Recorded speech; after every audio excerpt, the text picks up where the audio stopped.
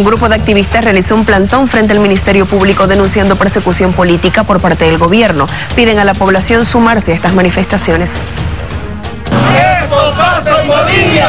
¡Queremos justicia! ¡Queremos justicia! Nos hemos dado cita aquí afuera de la Fiscalía eh, con un objetivo y con un mensaje claro y contundente, el cual es que no podemos permitir la persecución política que está llevando a cabo el MAS y las aprehensiones ilegales.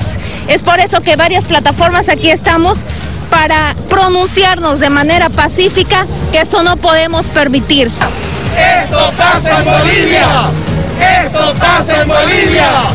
Las bolsas negras es el dolor de un pueblo que ve cómo ultrajan a sus ciudadanos con una justicia que debería ser justicia y sin embargo atropella. Ellos son los que encapuchan, los que no dejan que la libertad y la justicia prevalezca. Una serie de protestas que vamos a llevar a cabo los ciudadanos, no vamos a descansar. Aquellos presos políticos deben saber que tienen una ciudadanía, lo mismo que los militares y la policía deben saber que el ciudadano los está apoyando. Ellos dieron la cara en su momento por el pueblo, por la libertad y por la democracia y hoy nosotros los ciudadanos vamos a dar la, vamos a dar la cara y vamos a apoyarlos incondicionalmente. En relación a esto, el fiscal departamental aseguró que no tienen órdenes de aprehensión por ejecutar y que el caso es manejado desde La Paz.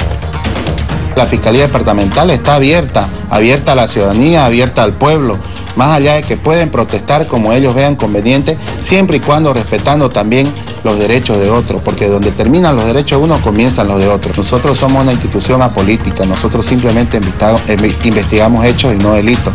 En esta Fiscalía Departamental no se tiene ninguna orden de aprehensión contra el señor Luis Fernando Camacho, como también contra ninguna persona que se encuentre en instalaciones del comité cívico.